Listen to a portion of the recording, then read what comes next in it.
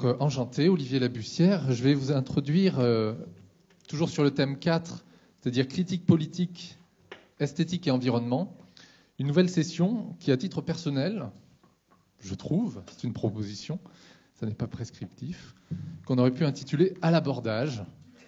À l'abordage, parce que il y a malgré tout dans les trois présentations qu'on va vous faire la volonté de renouveler l'abord, pas comme des pirates, mais de renouveler l'abord d'un certain nombre d'existants, que l'on parle de euh, la conception dans le design, du milieu urbain, ou bien euh, de ce qu'on appelle, à tort sans doute, les mauvaises herbes. Donc à l'abordage pour cette dernière session, et je vais vous présenter euh, nos différents intervenants. Nous avons tout d'abord sur une communication intitulée Pour une écologie du design, Manola Antonioli, qui est philosophe et chercheuse euh, associée au laboratoire Art et qui enseigne également à l'université de Paris-Ouest Nanterre, euh, non pardon, qui enseigne à l'école nationale supérieure d'art de Dijon et à l'école nationale supérieure d'architecture de Versailles. Et à la Villette. Et, et donc, euh, à tes côtés, Alessandro Vicari, qui lui est architecte et qui enseigne, si je ne me trompe pas, à l'ESAT d'Orléans? Oui. Si. Bien. Donc, euh, votre présentation nous propose de suivre les processus et pratiques de l'éco-design pour montrer en quoi ils peuvent renouveler les relations entre nature et industrie, et notamment avec un abord proposé qui est l'écosophie de, de Guattari. La deuxième présentation par euh, Laetitia Angot et Zoé euh, Agel. Euh, donc, Laetitia Angot est chorégraphe et développe notamment sa pratique à la croisée de plusieurs genres artistiques danse, théâtre, cirque, si je ne me trompe pas. Oui, cirque, non. Mais cirque, non. ça, pourrait, ça pourrait. Mais ça pourrait. Euh, et Zoé, euh, qui elle est urbaniste et éco-sociologue, est rattachée au laboratoire LIE, donc laboratoire interdisciplinaire environnement urbanisme de l'université Aix-Marseille. Pour leur part, leur présentation propose de mettre à jour, euh, par la danse et l'urbanisme, et, au travers de ces approches, des capacités d'ouverture au lieu, au vécu et au sensible, des configurations de relations entre humains et non humains dans le milieu urbain. Et à travers ces formes d'investigation renouvelées, euh, d'appréhender la question euh, de quoi, de qui prend-on soin dans le milieu urbain. Et la troisième présentation euh, de Bénédicte Ramad, qui est assise ici devant, historienne de l'art et qui enseigne à l'Université de Montréal et l'Université de Québec, et qui propose une présentation sur la dissidence botanique comme modèle d'action, et qui notamment proposera de suivre des pratiques artistiques pardon, qui redonnent aux plantes une existence, euh, notamment une existence, enfin, vous le précisera, mais un, nom, un usage, voilà, une, présence. Voilà. Donc à l'abordage, je vous souhaite une excellente, euh, d'excellente communication. Merci. Merci. Je vais commencer cette communication qui est partagée avec Manon. En effet, euh, nous, nous, avons commencé déjà il y a trois ans euh, un travail, une recherche euh, qui concerne la question de l'écologie et du design. On a des compétences qui se complètent. Et aujourd'hui, on va présenter le travail, l'état de, de l'art, voilà, l'état de l'art. donc, Écologie et design, en effet, euh, ce que nous appelons écologie du design ne se limite pas euh, aux approches habituellement réunies sous le nom d'éco-conception.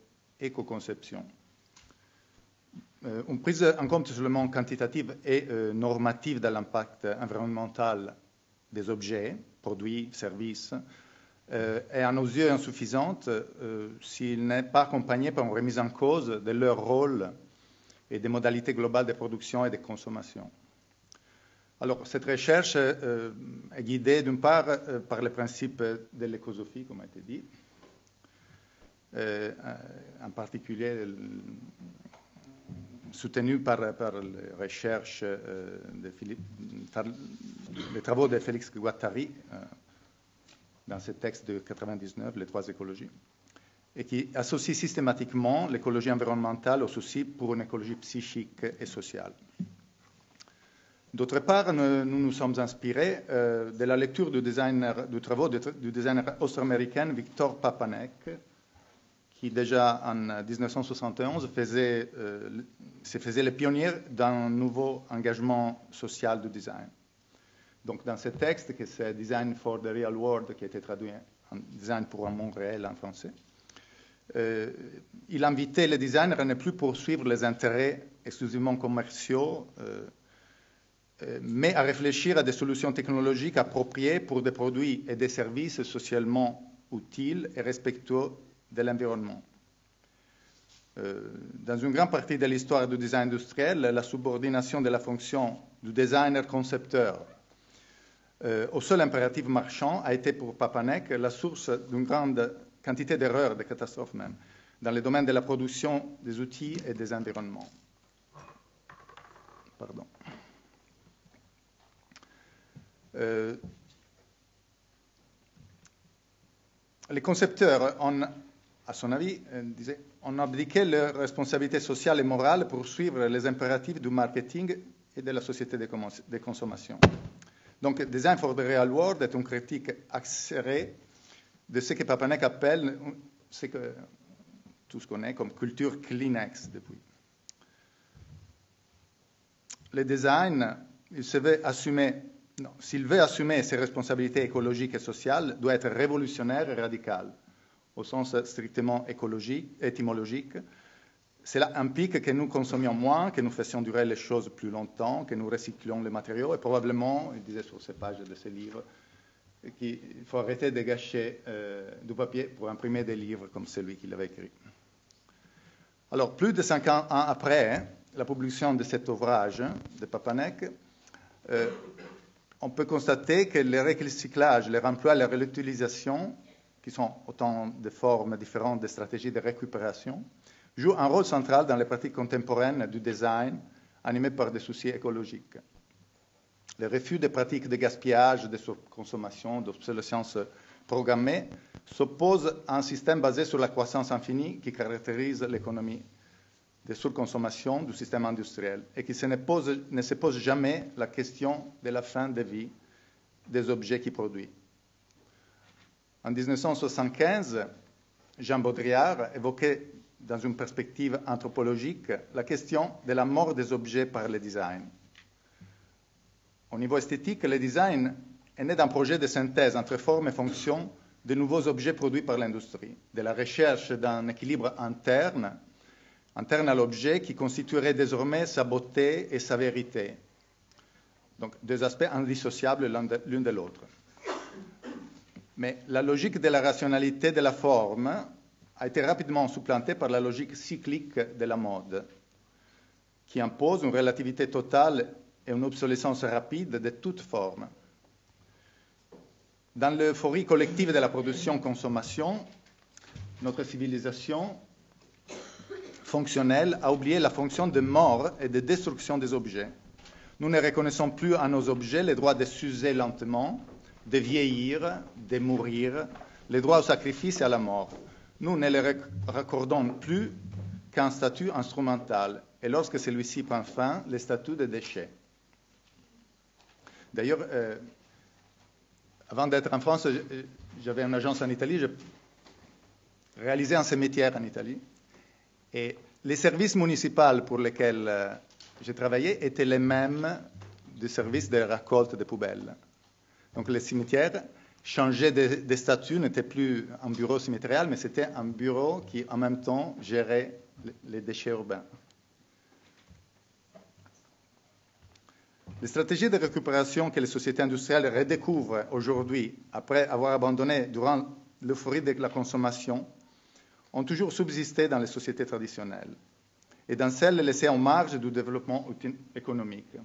Comme par exemple au Sénégal, l'image que vous voyez, le démontage et la réutilisation des déchets occidentaux génèrent une activité artisanale des produits utiles destinés aux usagers locaux, ainsi qu'à la production artistique pour l'exportation vers l'Occident, vers nous. Donc, ce mobilier qui est dessiné par un artiste sénégalais, euh, Baye en effet, fait l'arrêt-retour. Hein. Envoie, on envoie des déchets, on envoie même euh, des emballages de marchandises euh, qui nous reviennent transformés par une action artisanale, mais euh, menée avec nos, mêmes paramètres. C'est-à-dire qu'il s'agit d'un charmant garçon qui produit des charmantes formes et qui séduisent dans les galeries, dans certaines galeries occidentales, les clients. Euh, le savoir-faire artisanal, ancestral même, des tressages des tribus zoulous d'Afrique du Sud se retrouve décliné dans la récupération de milliers de kilomètres de câbles téléphoniques multicolores utilisés pour la fabrication de paniers solides et raffinés qui sont destinés à la clientèle occidentale. Ces paniers donc, sont un commerce à la boutique du musée de Quai Branly. Le manque dramatique des matières premières dans les pays soumis aux blocus commerciaux est une, source pour l'intelligence pratique de la réutilisation. L'embargo qui avait été à l'origine de la production autarcique d'objets et matériaux ingénieux dans l'Italie fasciste des années 30 a contribué récemment à développer le détournement d'objets au quotidien à Cuba. L'implosion de même, l'implosion de l'économie soviétique dans les périodes précédentes sa chute, euh, aux années 80, a développé à l'époque une, pratique ingénieuse d'autoconstruction d'objets et d'accessoires que l'économie collective n'arrivait pas à produire ni à distribuer. Le designer cubain, artiste et designer euh, Ernesto Rosa travaille depuis longtemps sur les inversions vernaculaires de Cuba. Et dans l'ouvrage Billy, Rosa présente le fruit de l'inventivité collective cubaine confrontés à une situation de pénurie chronique dans les périodes de l'embargo américain. Alors, les stratégies vernaculaires à Cuba ont connu plusieurs phases. La première été euh, celui de la période de la Révolution. Euh, les Cubains prolongeaient la durée de vie des objets. Donc, les voitures qui, depuis, nous euh, connectent à un imaginaire cubain sont les voitures américaines des années 50, qui sont restées pour longtemps. Après l'épuisement de cette marchandise, les aides soviétiques arrivaient que de façon tardive, insuffisante, pas bien gérée. Les Cubains euh, ont, dû, commencer à cultiver toute une industrie vernaculaire fondée sur le bricolage de ces genres. Donc, ce type d'objets qui prolongent leur vie grâce à des habiletés, des capacités de transformation, des béquilles, hein, sont des objets assistés par une évolution interne. Euh, mais on voit aussi des transformations, comme par exemple ces verres obtenus en coupant une bouteille de Coca-Cola. Hein.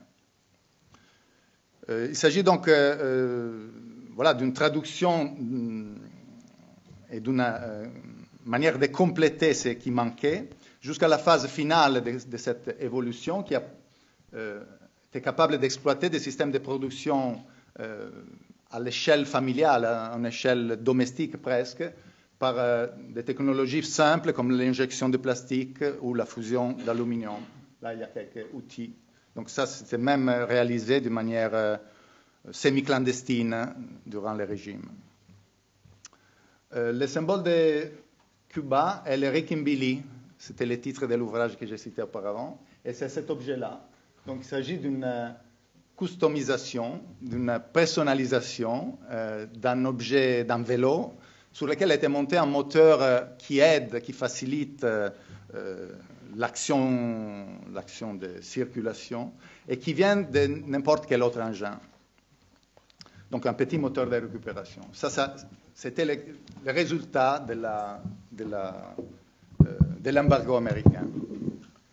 Alors la, deuxième partie, c'est donc c'est moi qui continue. Donc euh, cette question de la réduction du gaspillage, la valorisation des déchets par la réutilisation, le réemploi, le recyclage. Après, il y a tout un travail qui est fait pour différencier toutes ces formes différentes de recyclage, réemploi, réutilisation. On ne peut pas rentrer dans le détail de la question constitue une orientation incontournable d'une nouvelle écologie du design, mais aussi dans l'architecture, hein, euh, comme en témoigne la récente exposition Matière grise hein, qui avait été réalisée au pavillon de l'Arsenal par le collectif Encore Heureux.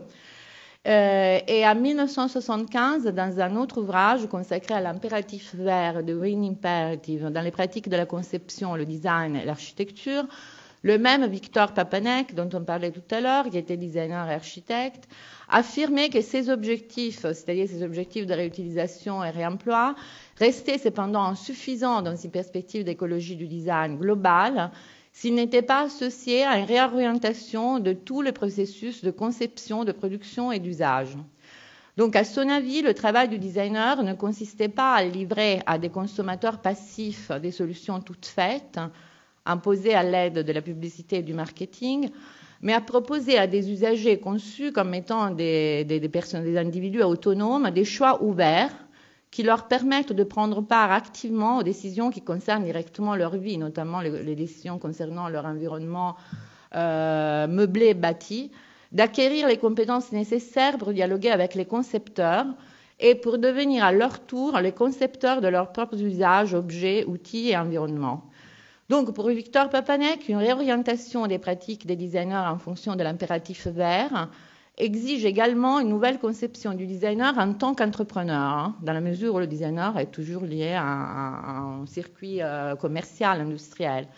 Donc déjà en 1995, il, proposait comme solution de remplacer progressivement le système industriel existant par des petites unités de production hautement décentralisées afin de donner plus d'autonomie aux travailleurs, de créer des liens plus étroits avec les ressources du territoire et de réduire les frais dus à la logistique requise par la grande échelle. Donc, une des hypothèses qu'on est en train de, sur laquelle on est en train d'effectuer des recherches en ce moment, c'est que la multiplication actuelle des Fab Labs, Hackerspace, tiers-lieux en tout genre, pourrait constituer une première étape de cette transformation du modèle industriel, euh, notamment dans le cadre du design qui été anticipé par euh, Papanek.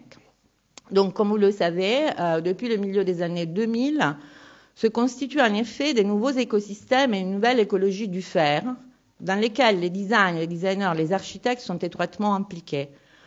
Euh, la multiplication de communautés qui a caractérisé l'essor d'Internet et du monde des réseaux depuis euh, les années 90 s'étend désormais de l'économie immatérielle à l'invention et à la production d'objets, du monde des bits à celui des atomes, hein, pour reprendre l'expression de Chris Anderson, qui est euh, l'auteur de l'ouvrage best-seller Makers, qui n'est pas le meilleur ouvrage que vous pourrez lire sur la question, mais c'est un ouvrage de divulgation.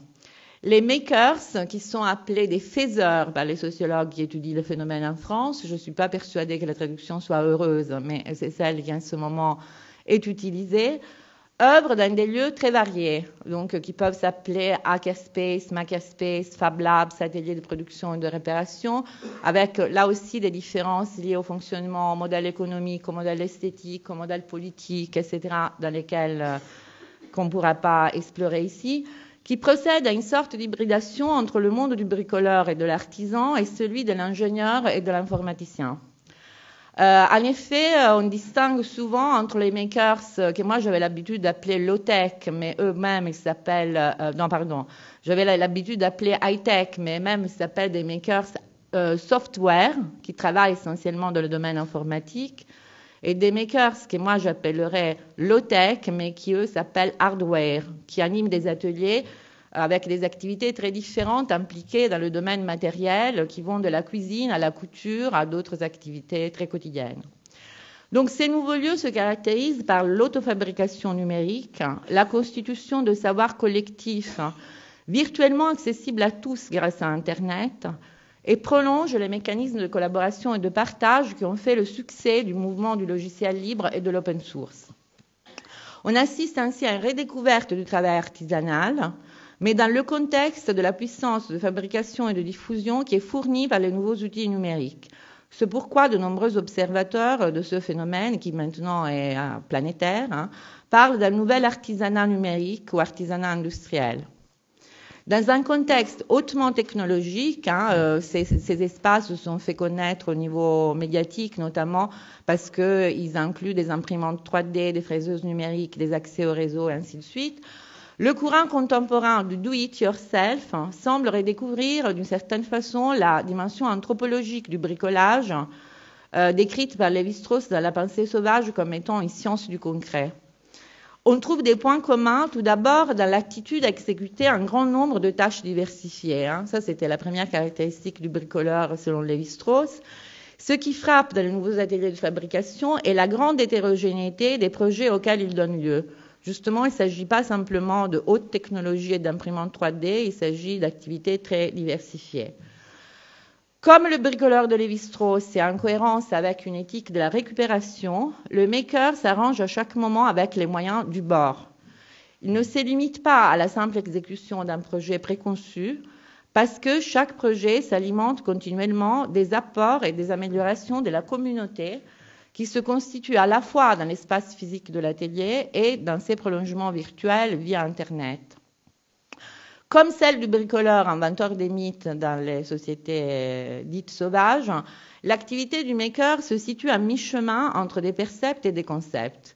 D'une part, par une redécouverte des vertus du travail manuel. Je vous invite à lire un très beau livre qui s'appelle Éloge du carburateur. Euh, j'ai oublié le nom de l'auteur, mais c'est un magnifique ouvrage. D'autre part, par l'abstraction de l'univers numérique. L'univers instrumental euh, du bricoleur, qui, était, décrit par Lévi-Strauss comme étant clos hein, euh, dans, cette, euh, approche des moyens du bord, accède à l'ouverture qu'autrefois n'était réservée qu'au travail de l'ingénieur. Et cette nouvelle écologie du fer aspire aussi à sauvegarder ce que Lévi-Strauss définissait comme la poésie du bricolage, où le projet et les outils choisis pour le réaliser constituent un récit des choix de leur auteur. Donc il y a une très belle phrase de Lévi-Strauss qui dit sans jamais remplir son projet, le bricoleur il met toujours quelque chose de soi. Hein, c'est jamais une production détachée de, euh, des, finalités, de la, de la personnalité de celui qui le réalise. La reconfiguration du fer, qui est un jeu dans ces nouvelles pratiques artisanales, implique ainsi de nouveaux rapports à l'environnement, l'émergence de nouvelles formes ouvertes de communauté, de nouveaux partages entre espace public et espace privé, pratiques artistiques et pratiques artisanales, une nouvelle fabrique du sensible, pour appeler de nouveau notre ami Jacques Rancière. Donc, la dernière euh, direction que nous sommes en train d'explorer est une direction qu'on pourrait appeler pédagogique, hein, qui nous semble essentielle pour accompagner le changement de paradigme en cours. Hein, et donc, euh, dans une perspective plutôt d'histoire du design, une histoire du design pensée en fonction du présent et si tout va bien du futur, nous avons travaillé à l'expérience Global Tools. Alors, pour résumer très brièvement, dans le prolongement du mouvement de l'architecture radicale italienne des années 60-70, Global Tools a été entre 1973 et 1975, donc ça a été une expérience de très courte durée, L'ouvrage que vous voyez est disponible euh, gratuitement sur Internet. Il est en anglais, mais vous pouvez le télécharger. Euh, il y a beaucoup d'auteurs qui ont contribué. Euh, a été une expérience pédagogique éphémère hein, qui ne s'est jamais constituée en une véritable école. Hein.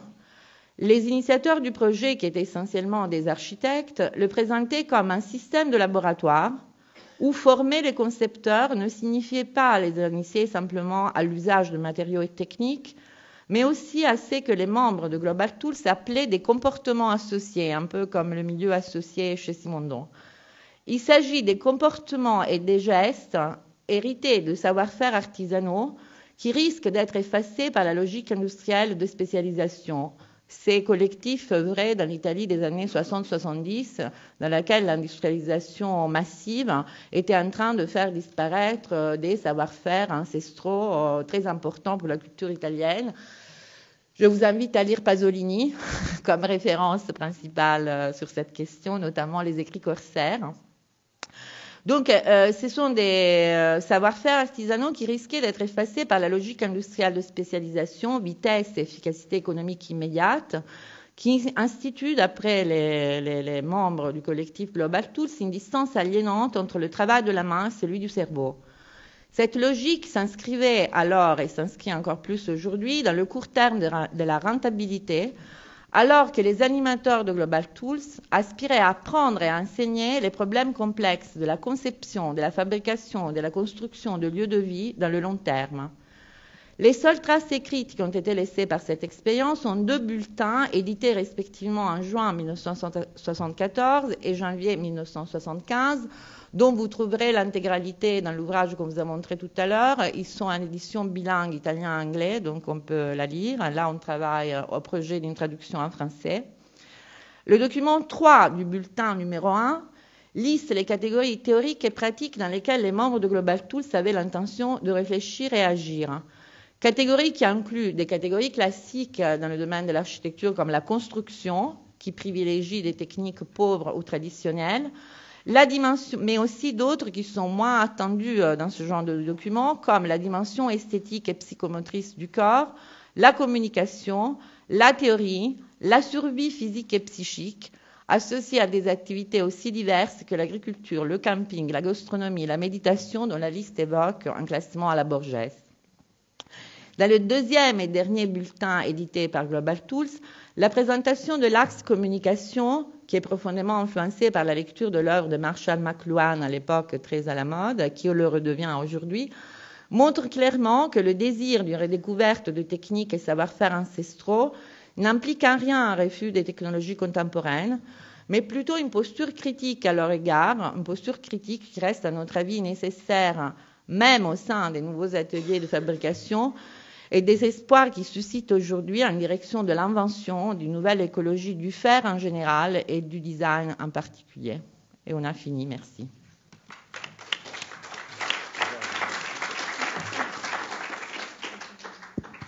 Nous avons choisi de vous présenter tout d'abord où puise la nécessité que nous avons eue euh, d'engager un dialogue entre danse et urbanisme avant de vous présenter le projet de recherche commun qui en découle.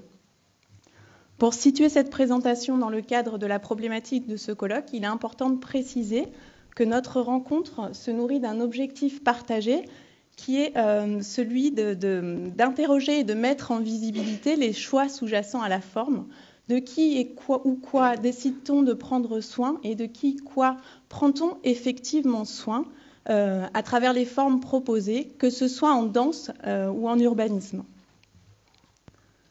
Ce questionnement repose sur une conception de l'environnement qui tient euh, à celle euh, que propose Jean-Pierre Lévy, euh, pour qui l'environnement intègre tout aussi bien les dimensions sociales, vécues et esthétiques des rapports humains aux milieux construits et non construits que les liens entre les milieux construits et milieux non construits eux-mêmes. Mais elle puise peut-être encore davantage euh, dans la conception de Tim Ingold, qui présente en fait l'organisme dans son environnement comme une totalité indivisible, comme un processus qui devrait être le point de départ de toute approche écologique. Et en fait, ces deux conceptions sont représentatives de ce sur quoi se fonde nos dialogues, notre dialogue, pardon, en ce qu'elles posent la relation comme centrale. Euh, préciser notre euh, positionnement euh, nécessite à présent que nous, nous, présentions où nous nous situons chacune dans notre discipline et ce que représentent pour nous les perspectives ouvertes par ce dialogue art-science que, nous engageons. Je cherche pour ma part, à travers mes recherches en, urbanisme, à contribuer à répondre à l'exigence pragmatique qui consiste, selon les termes de, de H., à tenir ensemble nos idées, nos actes et euh, leurs conséquences. Donc je cherche ainsi euh, à analyser les aménagements produits euh, au prisme des expériences urbaines qu'ils donnent à vivre pour interroger en retour les modes de faire la ville, notamment à travers l'étude de leurs fondements théoriques et euh, des représentations que les acteurs euh, qui sont en charge de leur mise en œuvre s'en font. Euh, le volet de cette démarche qui nous intéresse ici vise à tenir ensemble analyse sensible des aménagements et vécu des personnes qui en ont une expérience quotidienne.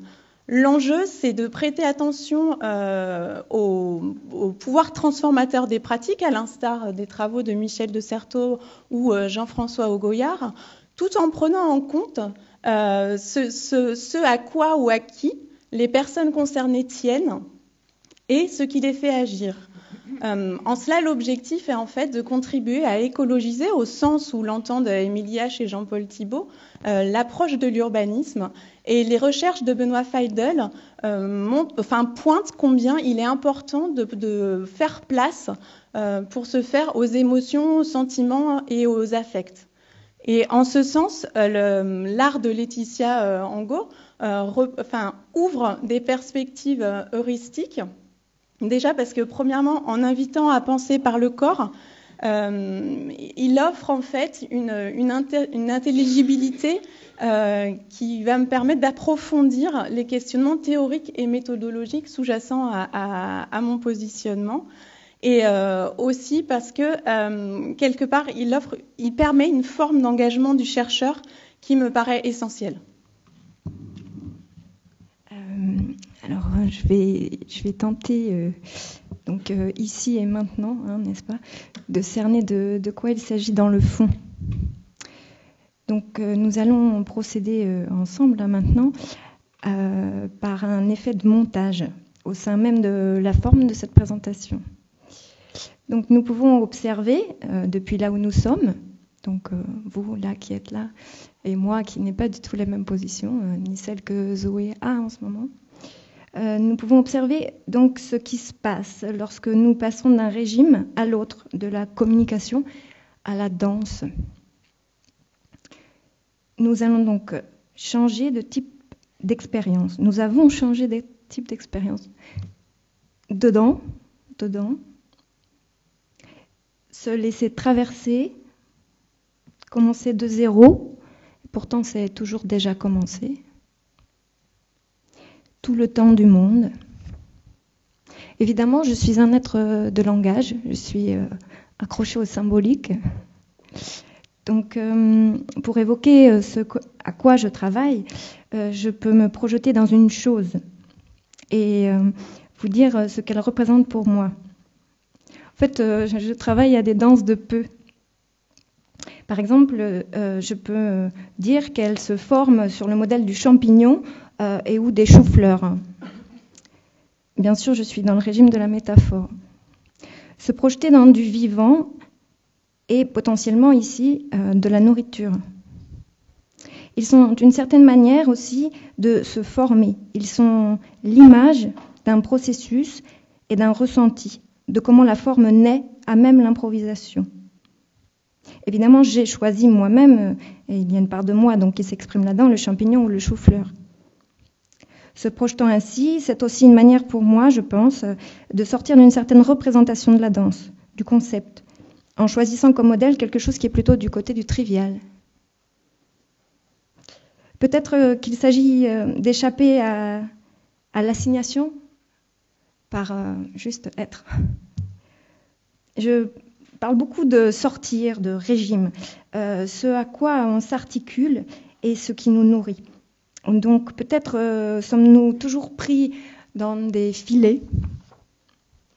La danse du milieu serait pour moi la danse des moyens du bord, de l'attention portée sur, quand on est nécessairement singulier et séparé, pris dans le symbolique, et qu'on pèse sa relation au proche et au lointain, à l'autre, l'étrange étranger, l'animé comme l'inanimé, et qui peut être euh, aussi nous-mêmes. Hein. Finalement, quand on pèse sa relation à l'histoire, à la grande comme à la petite, et à la géographie, ce rapport qu'on entretient.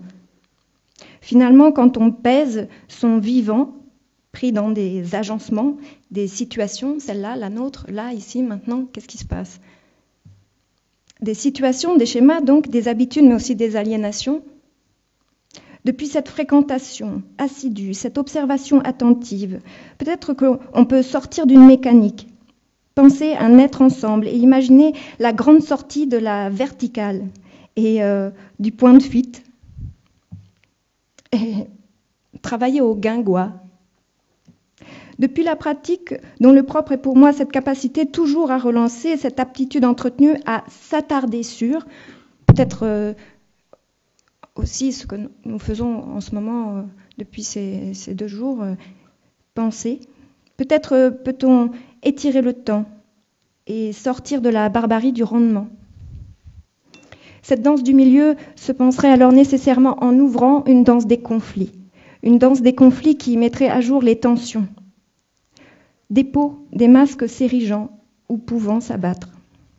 Commencer de zéro, c'est toujours déjà commencer danse des changements, des orientations qui ouvrent toutes les relations à l'aptique.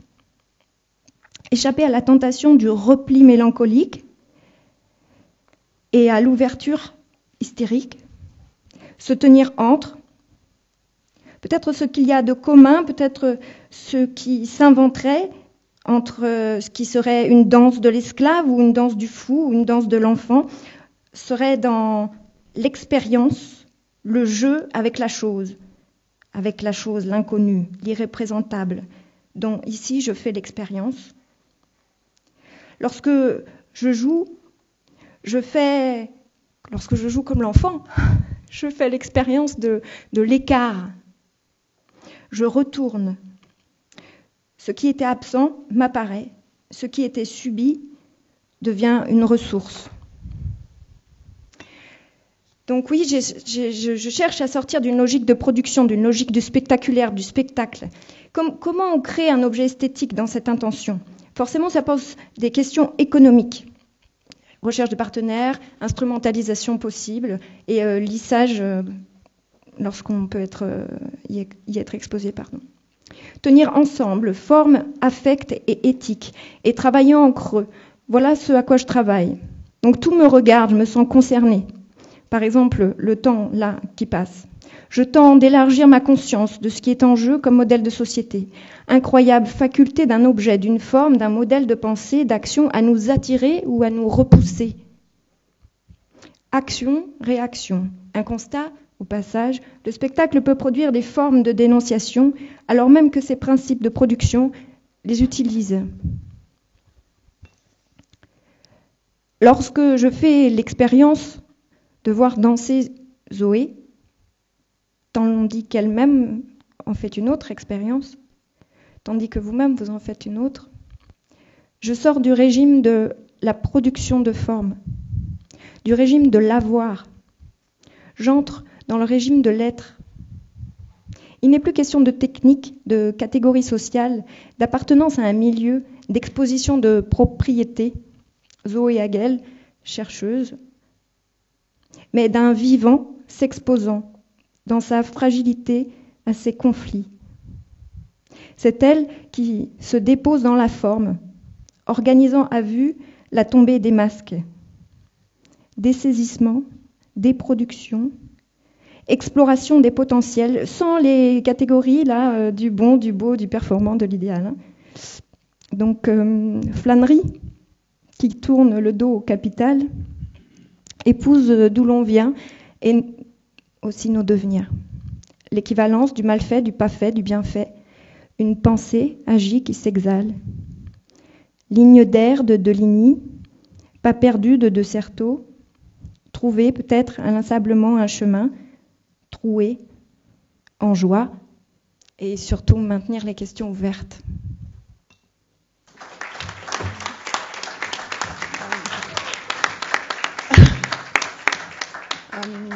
Nous avons choisi de situer euh, notre projet de recherche dans un quartier populaire, euh, ce pour trois raisons principales. Tout d'abord parce que nous faisons... Euh, non, pardon. ben, du fait en fait de la nécessité d'une déhiérarchisation des regards portés sur la pauvreté dans la fabrique urbaine. Et peut-être, au-delà, aussi, euh, et à l'image de ce que les recherches de Joanne Martinez-Allier montrent quant à la portée et aux perspectives offertes par la redéfinition des conflits environnementaux au prisme des enjeux euh, et des modes de vie des populations pauvres. Donc nous pensons qu'une approche esthétique et sensible de la manière dont la ville et les aménagements sont vécus dans les quartiers populaires euh, pourrait contribuer à une inversion des regards, voire à un renouvellement des connaissances ou à un changement de paradigme que plusieurs auteurs considèrent comme nécessaire pour euh, relever les défis contemporains posés euh, à la ville. Euh, nous avons choisi plus particulièrement de nous intéresser au quartier dans lequel vit Laetitia, dans le 18e arrondissement de Paris, vers Porte de la Chapelle, et, ce pour trois raisons euh, principales. Euh, la première, c'est que nous faisons, l'hypothèse d'une heuristique du proche, et donc le fait que Laetitia vive dans ce quartier nous semble intéressant.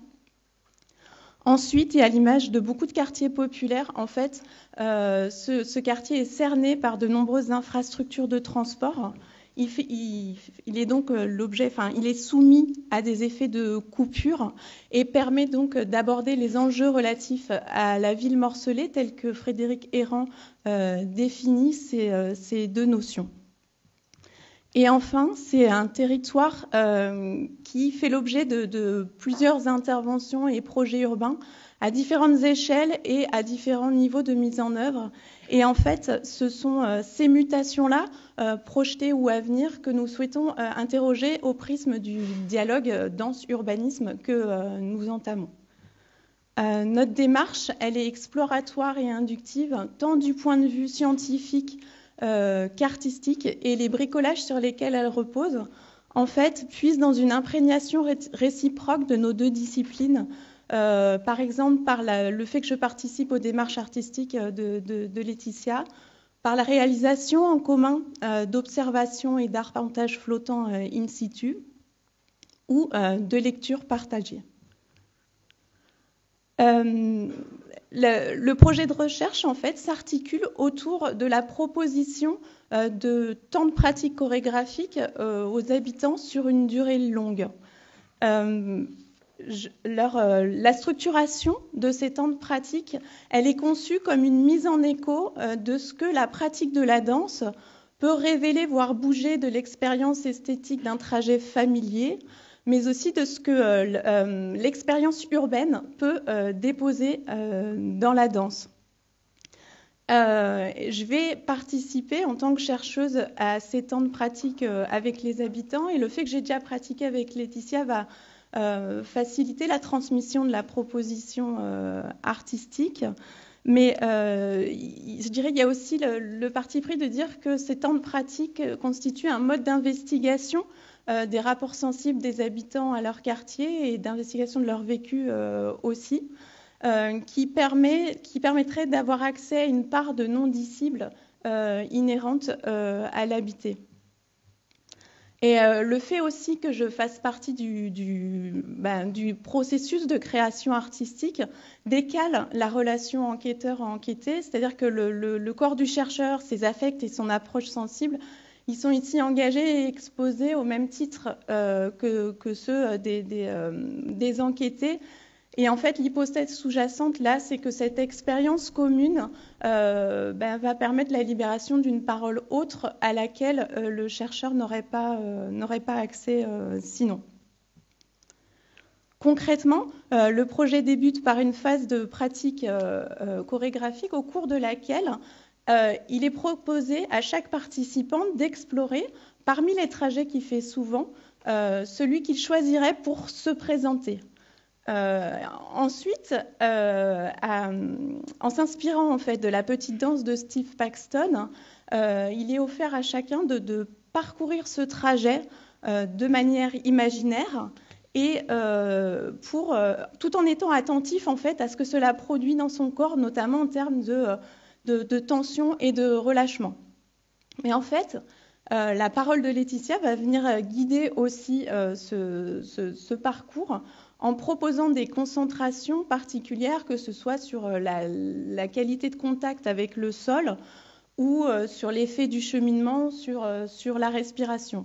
Mais ce qu'elle va proposer aussi, c'est de, laisser émerger et d'accueillir en fait les affects et les mémoires associés. Ensuite, euh, et à l'image des expériences de Jacques Dalcroze, euh, l'objectif, c'est d'amener chaque participant à travailler avec la qualité et la finesse euh, de, ses sensations, mais tout en ayant la, contrainte de devoir traverser la salle. Et en fait, c'est de l'improvisation qui va être nécessaire à la tenue de ces différentes contraintes que va naître la danse. Euh, à l'issue de cette première phase, en fait, je vais me rendre in situ avec chaque participant qui euh, acceptera pour effectuer à ses côtés euh, le, trajet qu'il aura choisi et en recueillir le récit, donc en m'appuyant notamment sur la, méthode des parcours commentés et détaillés par Jean-Paul Thibault. mais aussi pour dépasser la difficulté inhérente à la mise en mots du sensible et du vécu. on s'inspirera de la méthodologie des baluchons sensoriels développée par Théa Manola, Et donc, il sera laissé la possibilité à chacun de, prendre des photographies ou de faire des dessins, de récolter des objets ou encore d'enregistrer des sons, que ce soit le jour même ou tout du long euh, du temps euh, que dureront euh, les pratiques. Et en fait, ces matériaux, ils vont venir alimenter à la fois la recherche en urbanisme, mais aussi la démarche artistique puisqu'ils vont servir de support euh, aux différentes phases de pratique euh, successives, qu'il s'agisse de danser euh, sur des sons recueillis ou à partir de paroles prononcées in situ, ou encore en convoquant des images, produites. donc après une nouvelle phase de pratique chorégraphique, je retournerai in situ, toujours avec chaque participant séparément, pour faire l'expérience du même trajet, mais cette fois en fonction de l'avancée de la recherche en urbanisme et de ce qui se sera produit au cours des temps de pratique. je proposerai à chaque personne de s'attarder soit sur des endroits précis, soit sur des dimensions sensibles particulières. Euh, et je recueillerai euh, le nouveau récit qui pourra être fait de, ce trajet. Donc de nouveau un aller-retour avec la pratique euh, chorégraphique. Et en fait, un, troisième et dernier cheminement in situ est prévu, cette fois orienté sur la projection et le rêve. En fait, l'idée, c'est de, porter attention à ce qui est présent et ce avec lequel la personne rêve, ou au contraire, ce qui est ressenti comme absent et, euh, que la personne aimerait euh, expérimenter. Pour conclure, en fait, donc, euh, la, mise en œuvre de, ce protocole, de, cette démarche, de ce projet, constitue en fait le, corps de la démarche artistique. Le, processus et, la pratique envisagée sur, sur un temps long sont en fait posés comme centraux. Du coup, si euh, la, création d'un ou plusieurs objets euh, euh, artistiques, esthétiques, c'est possible, la création d'objets esthétiques est possible, en fait, leurs formes ne peuvent être prédéterminées. Et l'enjeu, en fait, à ce niveau, il est double.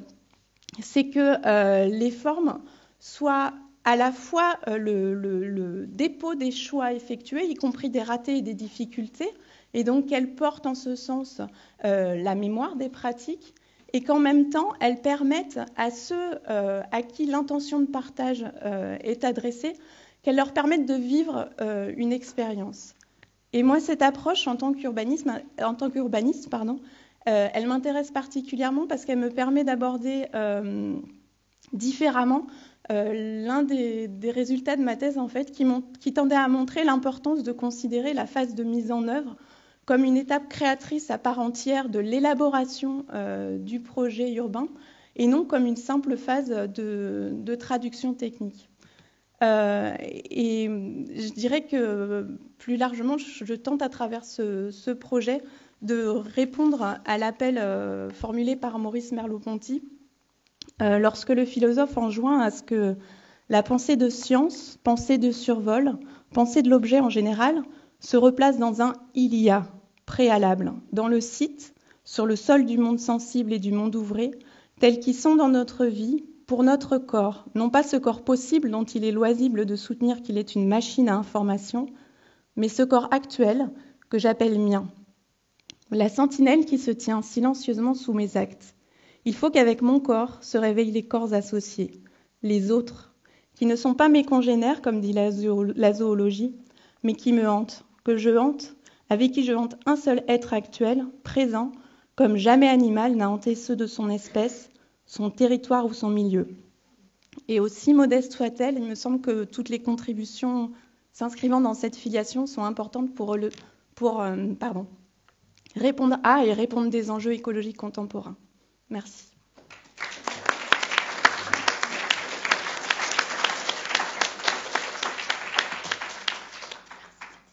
Bien. Euh, je vais essayer d'être dans les temps et de ne pas trop euh, vous, assommer pour cette dernière euh, conférence. merci en tout cas aux organisateurs d'avoir sélectionné cette proposition.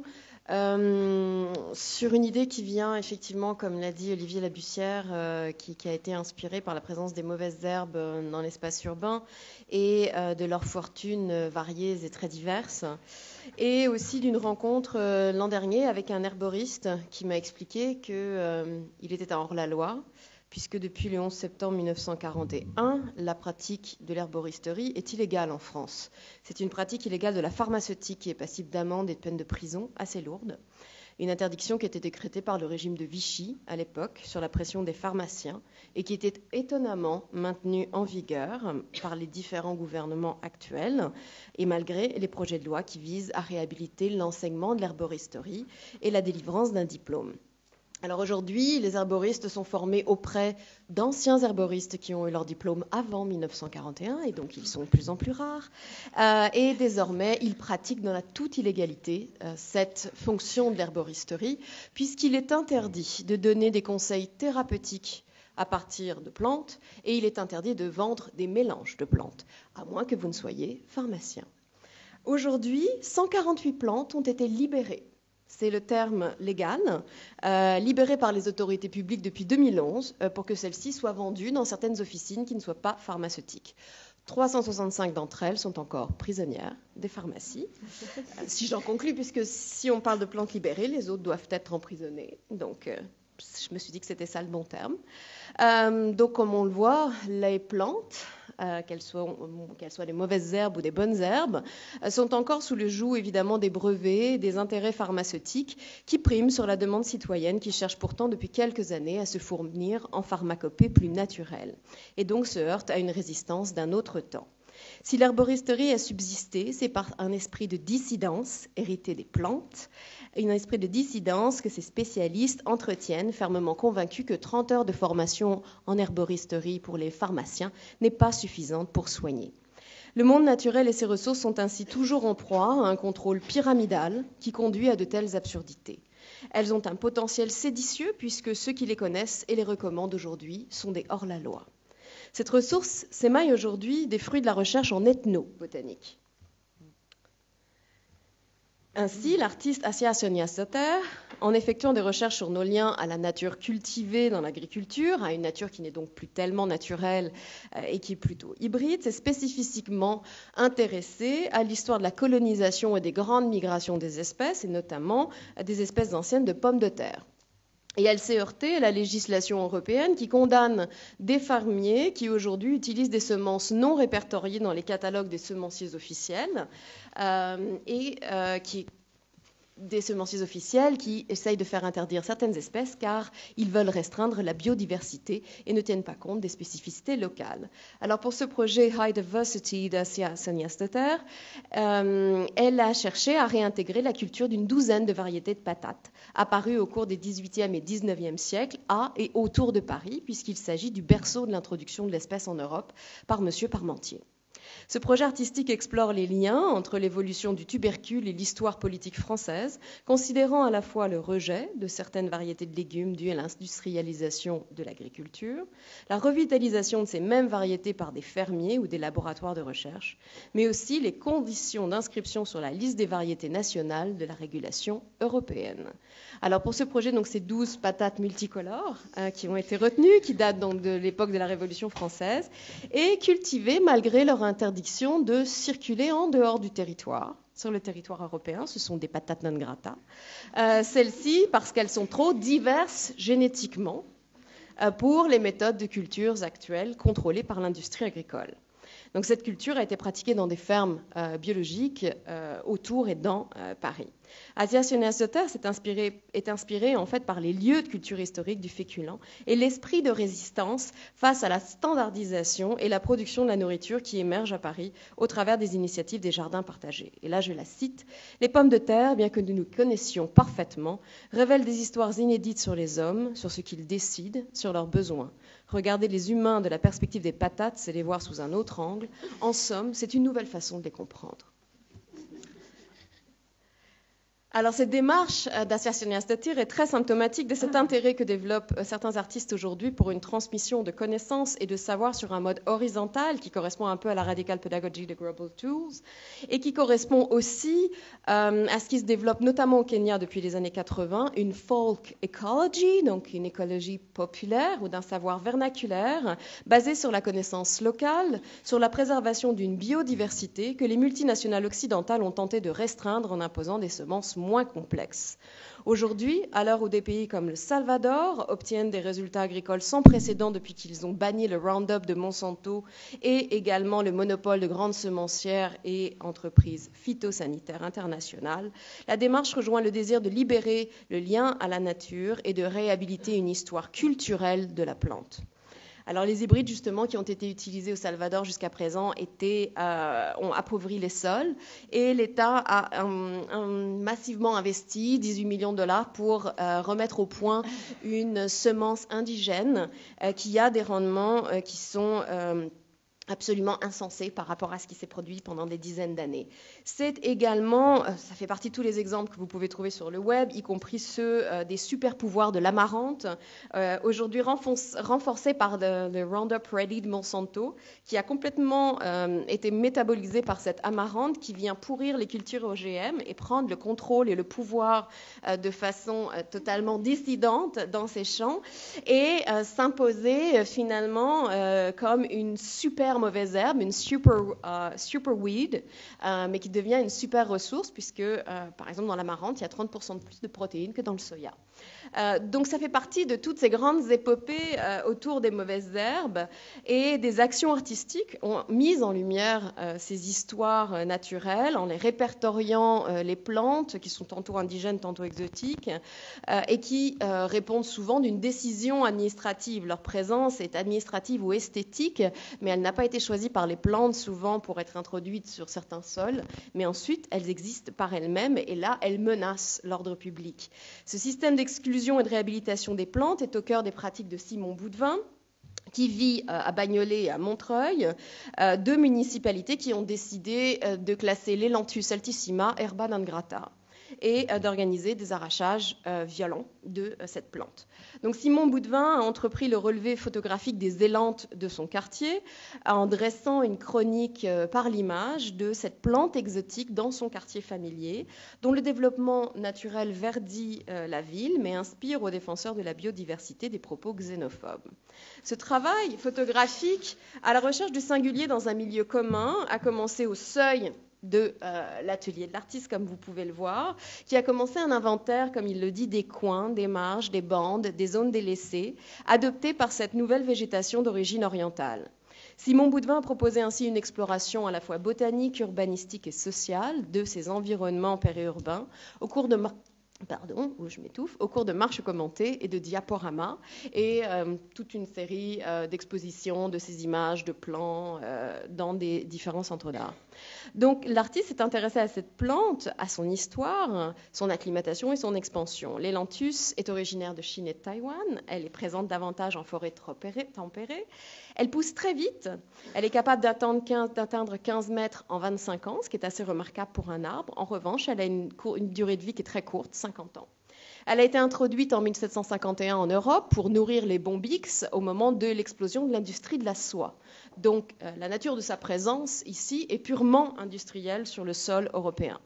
Désormais, elle est classée au top 10 des espèces invasives, donc absolument indésirable. Elle a donc changé de catégorie et aujourd'hui se retrouve au milieu de discours euh, euh, qui tendent à défendre la biodiversité et la préservation de la nature et d'autres qui tentent à effectivement restreindre la présence de certaines espèces et d'indiquer leur extradition. Donc l'inventaire des photographies montre que certains pieds ont été adoptés, donc ici pieds sauvages, pieds adoptés, derrière euh, des palissades, dans des propriétés privées. Un peu plus discret, il faut la trouver derrière, hein, derrière tout euh, ce, métal. Pieds arrachés, pieds rejetés.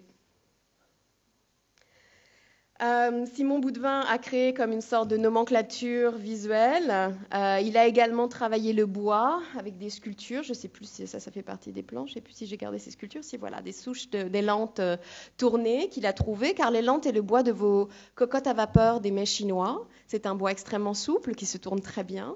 Donc il l'a travaillé, bien qu'aujourd'hui on trouve que c'est un bois qui casse qui n'a aucune valeur. Et donc même les municipalités qui arrachent et qui coupent ces arbres ne voient pas du tout l'intérêt d'utiliser euh, ce bois. Ce qui est étonnant avec les landes, c'est qu'aujourd'hui, on met en avant ses qualités euh, désagréables. Le feuillage pue, euh, le miel sans l'urine de chat. les, graines, les pollens ont un fort pouvoir allergisant, donc vraiment c'est une plante très sympathique. Seulement on oublie complètement toute la richesse que cette plante offre, notamment dans la pharmacopée chinoise. Donc vous voyez à quel point on transmet ce que l'on veut bien transmettre sur ces plantes qui euh, habitent euh, nos espaces urbains et les arestis sont là euh, finalement pour nous les mettre en avant. Donc les décisions politiques conduisent aujourd'hui à l'éradication de telles espèces au prétexte qu'elles ne sont pas indigènes. Cela conduit à une intolérance botanique qui est tout à fait symptomatique de notre époque et des manières qui ne diffèrent pas de celles appliquées pendant les grandes colonisations qui visaient à imposer certaines espèces. La question de la dissidence botanique est ici au cœur de cette œuvre progressive de Boudvin et montre combien les populations se dissocient des espèces qu'ils ont importées et combien le droit du sol reste chevillé aux espèces botaniques. Malgré l'acclimatation courageuse de cette petite plante, celle-ci ne sera jamais d'ici elle sera toujours euh, possiblement victime d'intolérance et d'une xénophobie ici maximale. Le système de contrôle, hérité des grandes périodes de conquête, est décidément toujours vivace et c'est désormais à nos portes que l'on décide d'une expropriation et d'une exploitation d'un territoire et de ses espèces. Donc on fait preuve d'une amnésie qui est parfaitement euh, redoutable.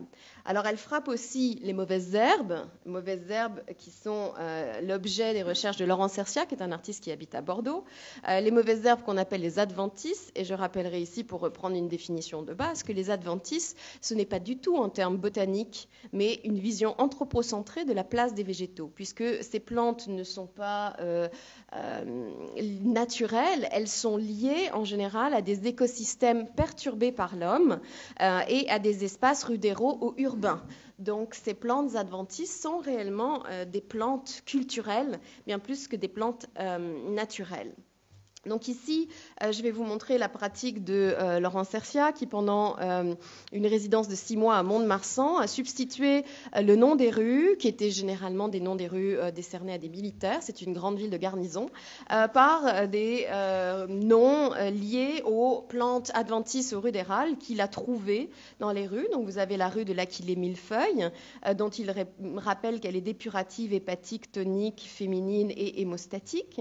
La rue de la Bourrache également euh, elle est également euh, dépurative, décidément, euh, sudorifique et hypotensive. voilà, plus de, voilà plus de détails. Et ça m'a fait rappeler la lecture de Raphaël Larère qui avait écrit Y a-t-il une bonne et une mauvaise biodiversité en 2009 dans l'ouvrage Écosophie. Et je le cite mais il me faut d'abord préciser ce que sont des espèces invasives. Les flores et les faunes de tous les pays comprennent une proportion plus ou moins élevée d'espèces d'origine exotique, qui sont parvenues à trouver leur niche écologique dans certains des écosystèmes présents sur le territoire. Elles se sont naturalisées. Certaines de ces espèces naturalisées sont considérées comme invasives dans leur territoire d'adoption lorsque leur prolifération produit, dans les milieux naturels ou semi-naturels, des changements significatifs de la composition de la structure et ou du fonctionnement des écosystèmes. Ces invasives ne représentent en général qu'une faible proportion de l'ensemble des espèces naturalisées. Ce à quoi j'ajouterai que parmi elles, les pestes végétales, car c'est un degré encore au-dessus, euh, sont vraiment encore plus rares. Mais certaines d'entre elles sont davantage le fait des histoires des goûts et des modes que des véritables invasions végétales. Et je reprendrai encore Raphaël Larère. Rappelons d'abord que toute espèce, qu'elle soit autochtone ou exotique, est potentiellement invasive. Lorsque l'argument, comme l'argumente Robert Barbeau, la vie est par nature un processus qui conduit à l'expansion. N'importe quelle population animale ou végétale placée dans des conditions favorables tend à croire en nombre. Alors effectivement, Laurent Cercia s'est intéressé, outre ce phénomène de réassignation des rues, à toute cette population rudérale et adventiste qui a poussé à Mont-de-Marsan dans un quartier en pleine restructuration, donc destruction de barrages HLM pour reconstruction de logements. Et il en a créé un diaporama de 57 espèces pour informer la, la population de cette ressource à portée de main qui se trouvait à côté d'elle.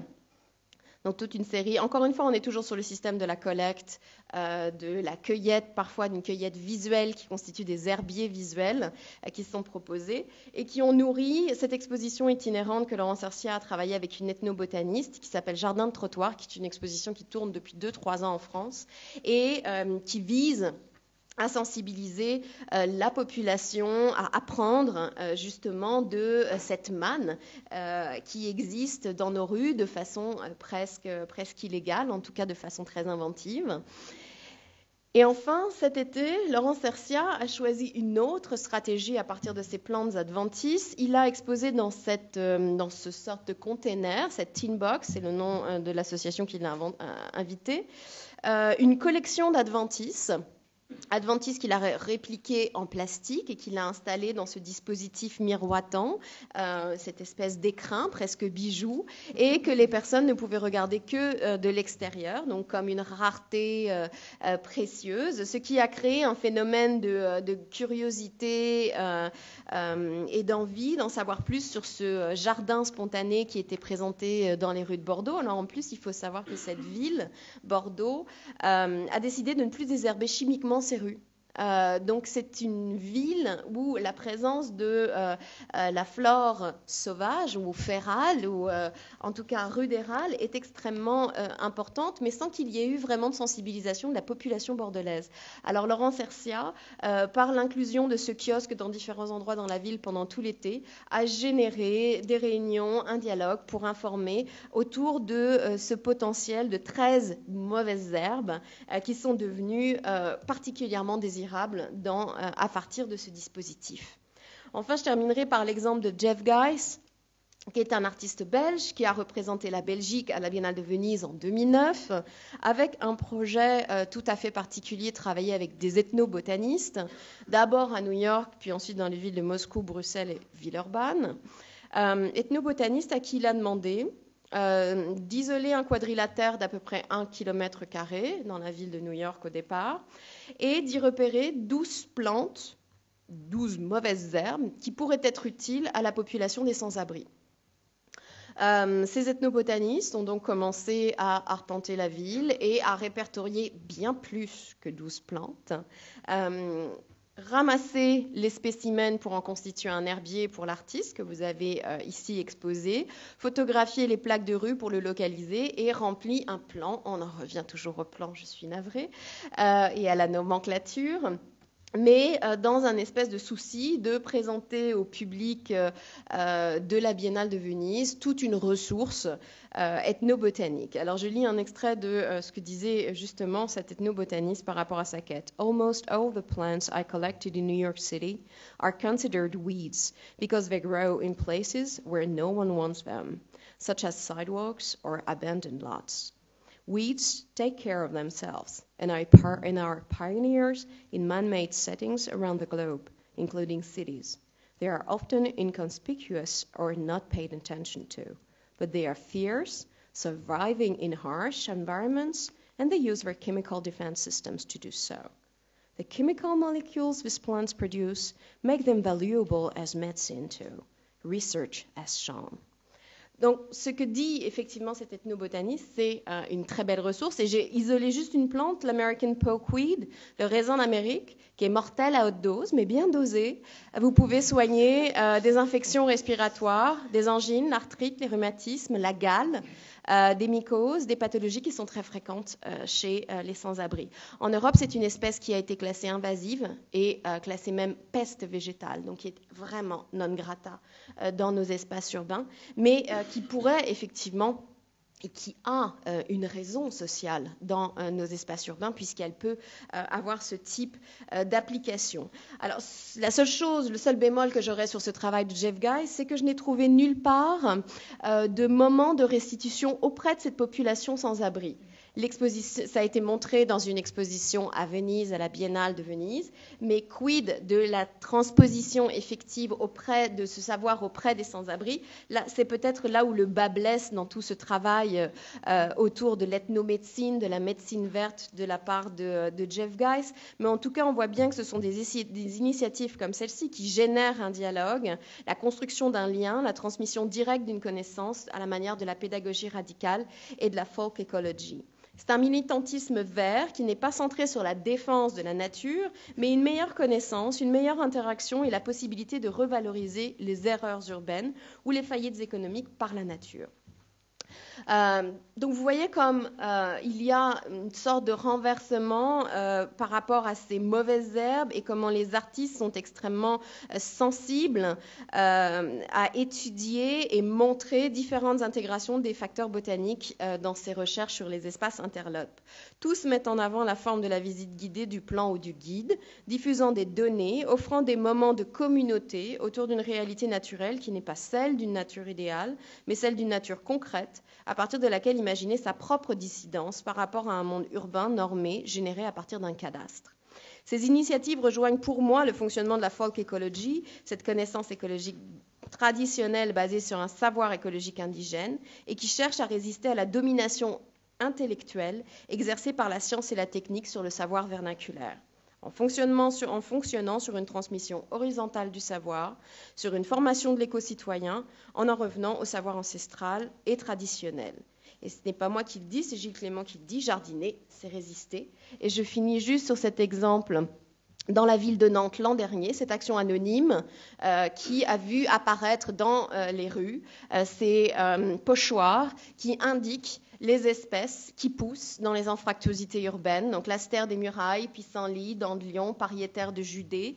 Euh, c'est une intervention qui ensuite s'est révélée être un projet quasi artistique nommé Les plantes pour changer le regard des gens, qui a été créé par Frédéric Soulard, euh, qui ensuite a tenu des réunions publiques autour de euh, différentes espèces, ici comme la sagine ou la pariétaire de Judée, qui est une très belle plante originaire de Grande-Bretagne et pas du tout de Judée. Et qui a des propriétés, par exemple adoucissantes, émollientes ou diurétiques.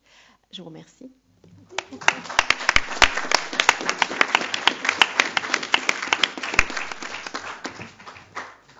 Je voulais vous remercier euh, tous les, tous les cinq pour ces trois présentations que j'ai trouvées très, très engagées, au sens où vous avez fait des, des, vraies propositions euh, extrêmement différentes, mais des, propositions et euh, donc ma, question, euh, elle, va être très, simple, mais peut-être à, chacun des, groupes d'orateurs. Euh, c'est le, futur de vos recherches. Alors peut-être pour, pour Laetitia et Zoé, c'est la question moi, des, habitants qui vont intervenir dans la démarche. comment ils vont être choisis, parce que je pense que c'est un, enjeu assez déterminant. Pour Manola et Alessandro, ce serait la, question, oui, de, ce que vous allez faire après. Et j'ai l'impression que c'est l'expérience pédagogique qui vous intéresse, si je comprends bien. Donc c'est une question autour de ça. Et euh, pour Béatrice, ce serait, euh, euh, voilà, si vous voulez continuer l'inventaire de, ces pratiques ou comment vous vous engagez dans, dans cette recherche? C'était la question. Bonne question. Bah, alors, euh, par rapport à la question du choix, en fait, euh, on a choisi euh, donc de se déplacer. Là, j'ai commencé déjà à rencontrer des acteurs. Mon objectif, il est un, peu grand. J'aimerais beaucoup que les participants, en termes de métissage, c'est important pour moi que ça puisse mélanger autant des acteurs sociaux et culturels que des habitants du territoire. Donc c'est tout l'enjeu. Donc c'est aussi pour ça que j'ai choisi de travailler là où j'habite, parce que ça, d'autres choses circulent quand, voilà, je suis maman aussi, j'ai trois enfants à l'école. Donc il y a d'autres choses euh, qui, voilà, qui, qui font que on peut parler Parce que la danse contemporaine, bon, qu'est-ce qu'on va faire avec la danse contemporaine Mais c'est quoi comme type de danse Voilà. Non, mais c'est ça, hein, en fait. Donc, ben, à force, voilà, de dire, bah, qu'est-ce que tu fais comme danse Donc là, a priori, je vais être un petit peu, on va dire, donc tout ça n'est absolument pas financé. Hein. c'est vraiment parce que j'ai envie de le faire, pour moi c'est important. Donc, euh, pour nous. Et du coup, euh, là, ce qui s'est passé concrètement, c'est que évidemment, je me suis intéressée à la concertation qui est en cours, euh, qui va avoir lieu donc cette année, alors que les travaux commencent l'année prochaine. voilà. Et donc, c'est très intéressant de justement d'observer.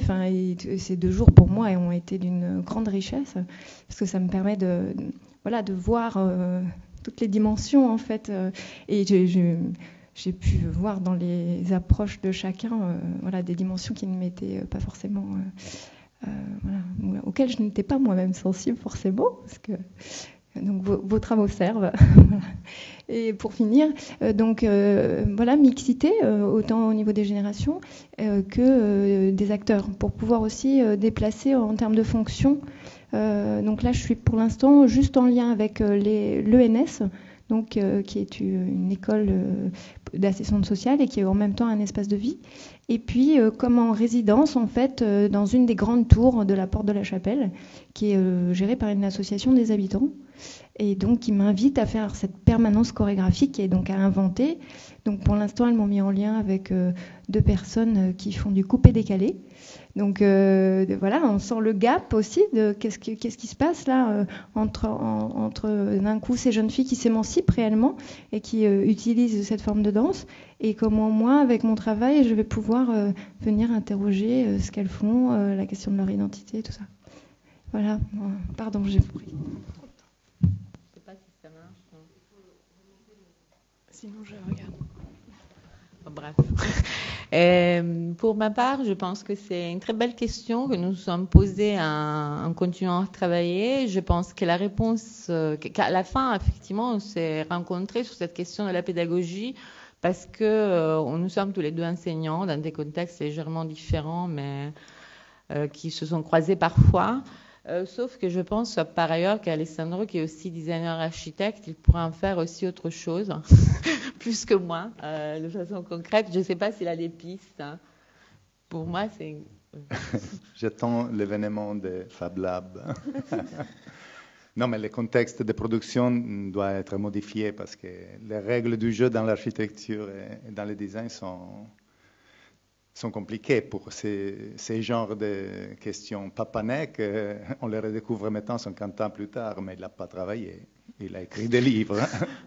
il n'a pas travaillé. Il a été marginé à cause de ce qu'il disait.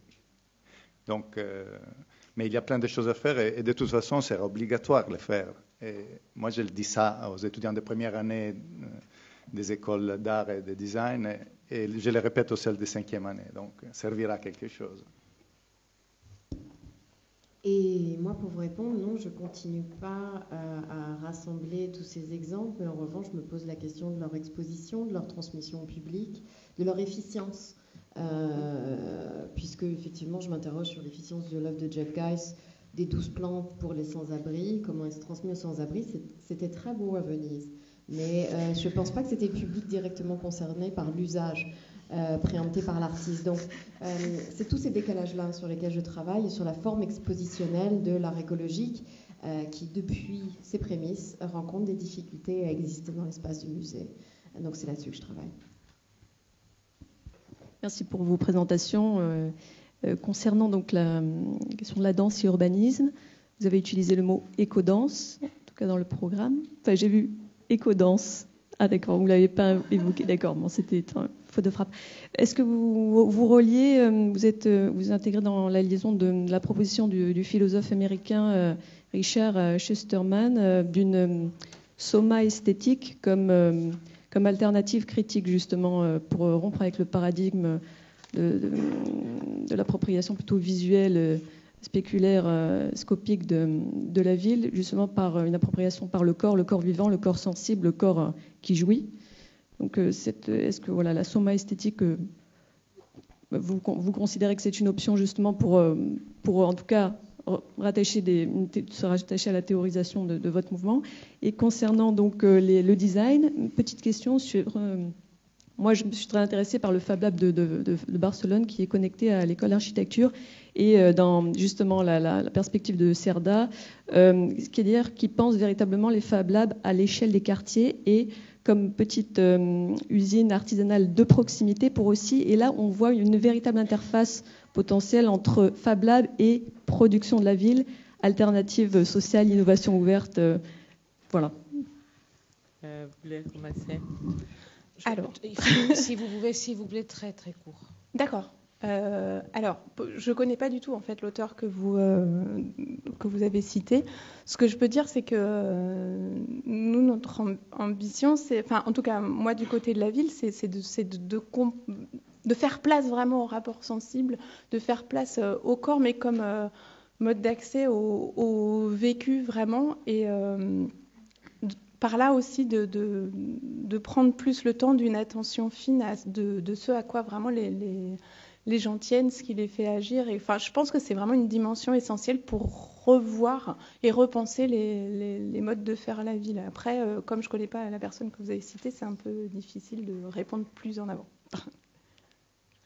Euh, sur Barcelone, merci pour la question, parce qu'effectivement, moi, pour vous resituer le contexte, moi, je travaille sur ces questions de Fab Lab avec un, laboratoire de sociologie du travail du CNAM. Donc mes collègues sont beaucoup plus intéressés à la question de la modification du travail, mais ouvertes sur des perspectives design. Donc on a fait des ateliers, on a fait des colloques dans lesquels elles sont en contact régulier avec le Fab Lab de Barcelone, qui effectivement a l'intérêt d'être conçu au niveau de la ville. Donc dans la perspective de voir quel est le lien entre les territoires, notamment les territoires urbains, et ces, euh, lieux, hein, appelons-les comme ça. Euh, et moi, c'est la direction de recherche qui m'intéresse moi tout particulièrement. Sauf que moi, je suis en école d'architecture où les Fab Labs, ils s'en fichent, pour ne pas utiliser un terme moins élégant, et elles sont au CNAM dans lesquelles la ville les intéresse de moins. Donc là, ce que je suis en train de faire en ce moment aussi pour voir euh, ce que je veux en faire du côté de la recherche, c'est de trouver un montage institutionnel pour que ce travail puisse se faire en, voyant comment ces, expériences se déclinent ou pourront se décliner, euh, modifier les espaces, hein, justement. Donc c'est le chantier en voie de préparation. voilà. Merci. Merci beaucoup. Euh,